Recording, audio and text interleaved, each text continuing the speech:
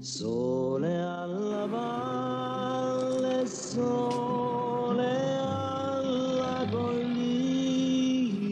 Glauben Sie bloß diesen Unsinn nicht, Herr Ingenieur. Das sind alles nur Reedereien. Diese Mafia existiert nicht. Aber was sagen Sie dazu? Seltsam. Das Loch sieht ja nach einem Einschuss aus. Was? Spiel ich nicht auf, hau ab, Scheißkerl. Ja, unsere Aufgabe ist es, eine Autostraße zu bauen. Basta. Ich will Sie davor bewahren, Fehler zu machen, von deren Folgen Sie gar nichts ahnen. Was ist da passiert?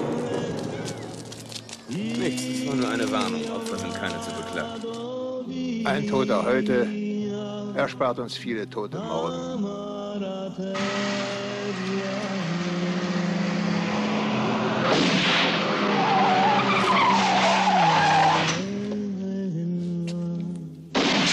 Der Kommissar kann ruhig alle einsperren.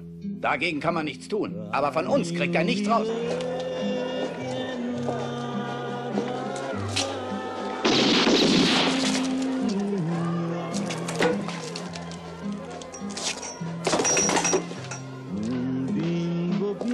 Es wäre nicht das erste Mal, dass ein Journalist davor gewarnt wird, seine Nase in ganz bestimmte Dinge zu stecken. Hör doch auf zum Teufel.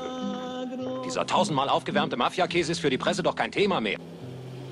Sie haben immer noch nicht kapiert. Sie haben bis morgen Mittag um 12 Uhr die 20 Millionen auf die Beine zu stellen. Wenn nicht, gebe ich für Sie keinen Pfefferling mehr. Das wäre Wahnsinn. Er ist heute Nacht nicht im Hotel gewesen. Ich möchte schwören, dass Pietro etwas passiert ist, Mario. Sie werden ihn umbringen. Du bist doch ein Dummkopf. Durch diese Flucht hast du dich ganz schön reingerissen. Wie kann man nur so blöd sein, Santino Cosenza?